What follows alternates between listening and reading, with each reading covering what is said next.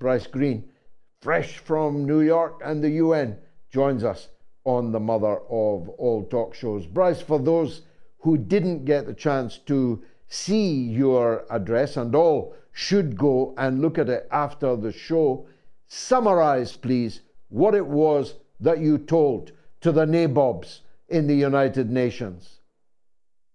All right. Uh, thank you for having me here, George. Uh, what I mentioned in front of the UN, uh, I just really went over some of the uh, history and the publicly available facts that we currently have about the Nord Stream pipeline explosion. Uh, I went over the fact that the pipeline, which uh, was a Russian and German pipeline, was designed to closely integrate the economies of Russia and Germany, which is something that the U.S. has been hostile to for a long time. Um, and, eh, but immediately after the pipeline explosion, there was all this speculation about who the primary culprit would be.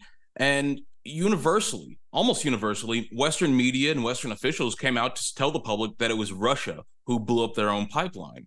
Well, pretty quick, quickly, they uh, realized that there was no real motive for Russia to bomb their own pipeline. And Western media organizations settled on a, a pretty, what I believe to be a pretty weak explanation for why Russia would be involved. They said it was some sort of vague reminder from Moscow uh, about just how vulnerable Western energy infrastructure is.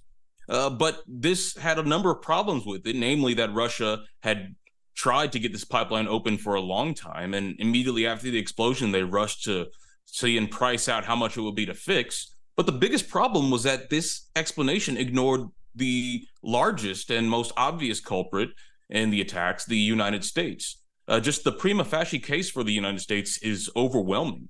As I said, the U.S. has had a long project of trying to prevent the integration of Russia and Europe.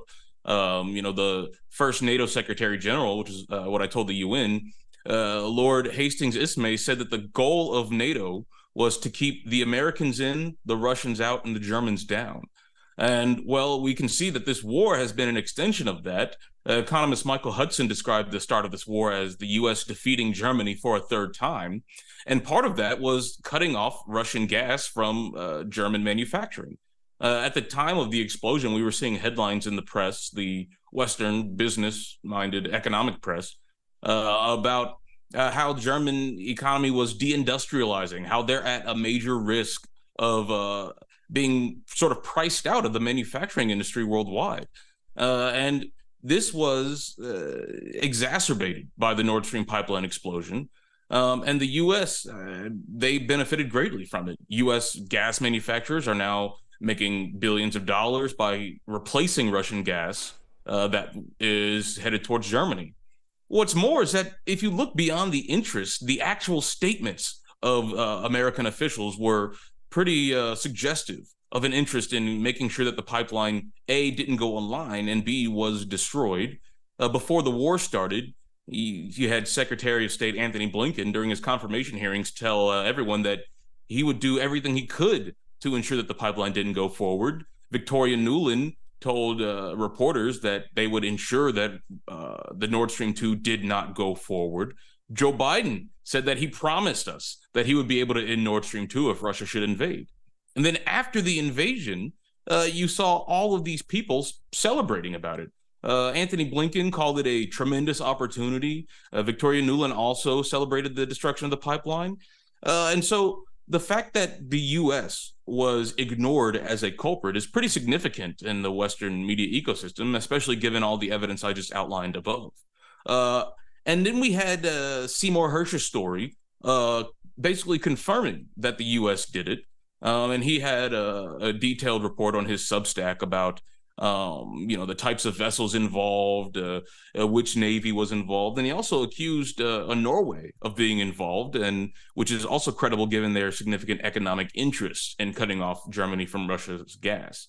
Um, but after Hersh's story came out, we started seeing reports in the Western press about how it wasn't the U.S. who did it; it was actually a group of Ukrainians, and you know, reports were pretty uh, pretty clear and pretty uh, quick to stress that it wasn't necessarily Zelensky. You know, uh, wasn't our the the media darling that everyone has come to know and love. It was, uh, you know, might have been some rogue Ukrainians and maybe some Poles as well. Um, but this reporting has actually been bolstered by uh, reports from people like James Bamford in The Nation, who wrote, who talked about ample Ukrainian motive to end the pipeline. I mean, Ukrainian and Polish foreign ministers had written an article talking about, uh, this was in Politico uh, in 2021, I believe, had written an article talking about how it's time to end the Nord Stream 2. The Nord Stream 2 has done enough damage to the West, and it's time to get rid of it.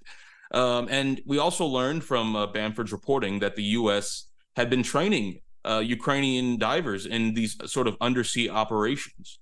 Um, uh, now, Seymour Hersh has responded to some of these reports by saying that, well, these were just put out as a response to my piece and is designed to mislead the public from understanding true U.S. culpability in the attacks.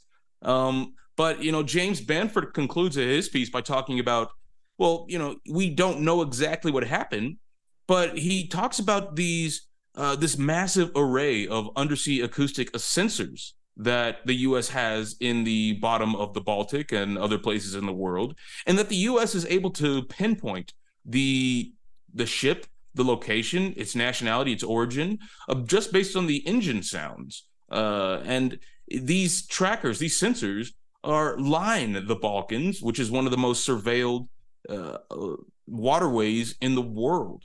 And so, in addition to satellites, we also have these undersea acoustic uh, sensors um, that would have relayed information pretty quickly, immediately after the attack, about the vessels involved uh, and about what what countries might have been involved.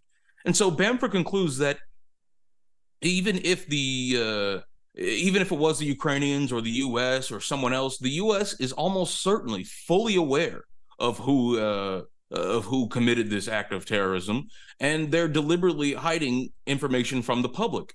Now, this bolsters the case that it was the U.S. who did it, but it also bolsters the case that it was Ukraine who did it. But what I told the UN Security Council was that this is really a distinction without a difference right? If Ukraine did it, they did it with the U.S. help, and they did it with the U.S. Uh, covering it up afterwards and misleading the public deliberately by pointing the finger at the Russians. And if the U.S. did it, well, uh, you know, the U.S. did it. So in both scenarios uh, that are common and widely accepted in the U.S. Uh, press, the West and the U.S. specifically is complicit in the attacks. The the parlor game that, I, that that about whether or not it was Ukrainian divers or American divers. It's largely irrelevant to the very obvious facts that, again, everyone seems to agree on. Um, the, the Washington Post even leaked information talking about how Zelensky was uh, uh, looking at uh, new ways to uh, uh, attack Russia. And included in this were uh, pipeline attacks. Now, notably, also included in this were direct attacks into Russia and operating or occupying Russian cities. Uh, this was before you had this uh, neo-Nazi incursion into uh, Russia. Uh, this was a, a couple months ago, but this was even before that. So this bolsters the credibility of these documents that blame Ukraine. Uh, but again, we don't really know what happened. Uh, this could be, you know, some elaborate parlor game designed to keep people guessing rather than actually dealing with the implications of the facts that we've uncovered. Um, but uh, three countries are currently undergo are currently carrying out their own investigations: uh, Germany, Sweden, and Denmark.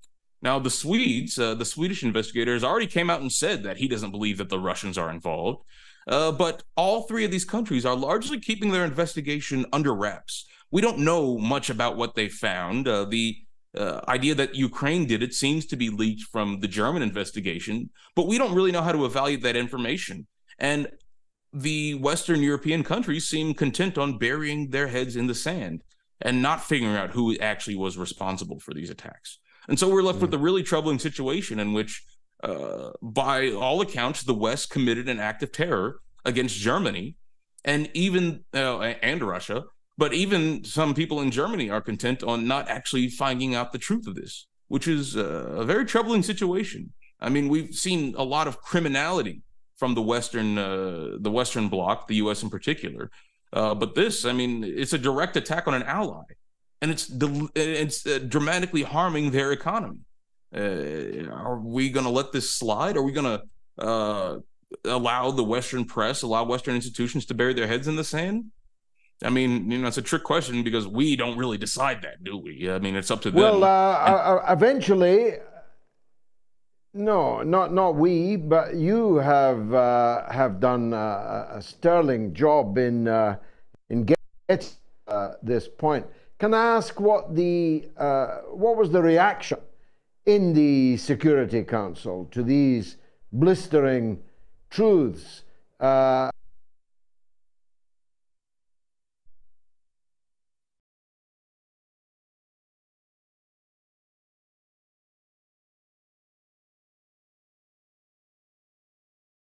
Uh, without a difference, a false dichotomy, was the most significant uh, thing. What what was the reaction from the Security Council?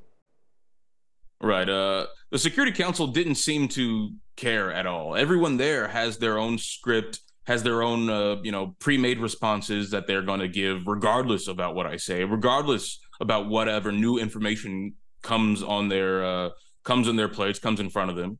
Uh, the countries largely, you know, aligned with the U.S. position that uh, there is no reason to bring this issue before the Security Council, and that we only need to wait for the investigations of Germany, Sweden, and Denmark to conclude before making any uh, serious steps.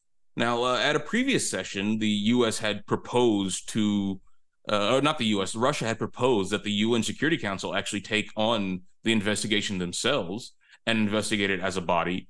Uh, but this was uh, opposed by the U.S. and rejected by the Security Council because, of course, the U.S. has veto power and what they say goes.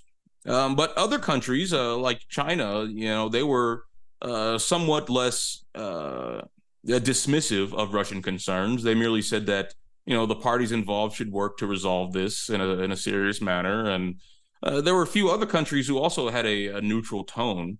But uh, again, no one actually reacted to the information presented. No one actually reacted to the fact that in the West, the consensus is that the West was responsible for this attack. Uh, this, despite uh, you know uh, the all these high level people saying that we're going to have a robust response to this horrible attack on uh, Allied infrastructure. No, no, none, none of them actually actually cared. Uh, they came there with their scripts and they left having said them. But my goal was to uh, bring some of these facts to the public. Uh, and there aren't a lot of people who are seriously studying this. As I said, you know, there are a few. Uh, there's uh, Jeremy Scahill at the Intercept. Uh, there's my colleague who also uh, uh, went to the UN Security Council, Jeffrey Brodsky, who's doing some good reporting on this. James Bamford, who I mentioned, Seymour Hersh, obviously, but not a lot of others. Not a lot of other people are interested in this this attack. Um, and so it's up to uh, it's up to alternative media people, and none none of the names none of the names you yeah and none, none of them were none of them are German uh, in the names that you mentioned there. Uh, what is happening uh, at the UN? Two friends of ours, of the mother of all talk shows, Max Blumenthal and now Bryce Greene, are making it past the past the red tape and into the belly of the beast. How is this happening? Uh, how are they allowing uh, people like Max, like you, to address them? Right. Well, uh, these meetings are typically called by uh, the delegation that has the most interest. And uh, I was specifically invited by the Russian delegation who has uh, been familiar with my work and been familiar with Max's work clearly of course, uh, we made it clear beforehand, before we appeared, that you know we would be able to say exactly what we want, and there wouldn't be any uh, interference in our statements. Uh, but the fact is that the Russians are actually concerned about getting some of these facts out and bringing some of these facts to light, whereas the Western side is completely content with burying their heads in the sand. And now there are people who will say that the testimony is tainted yeah. because uh, you know we're showing up on behalf of the Russian delegation, but that's not wholly true. And also, we believe that our words and our statements speak for themselves. And anyone who is concerned about whether or not my statement was factual or not, oh, I've published my remarks in their entirety uh, as I submitted them to the UN, along with citations for everything I say. I published them on my own personal Substack. Uh, I believe it's brycegreen.substack.com but uh, they're, they're there. And I've also published about this issue at uh, Fairness and Accuracy in Reporting. Uh, you know, Seymour Hersh also published on Substack. The, the information is out there for anyone with the you know access to a search engine. And so, you know, claims about whether or not we are being unduly influenced, I think, are overblown, and they distract from the actual uh, the actual facts of the case, which I think are extremely important with respect to the U.S. attacking its ally or covering up an attack on its ally for political reasons.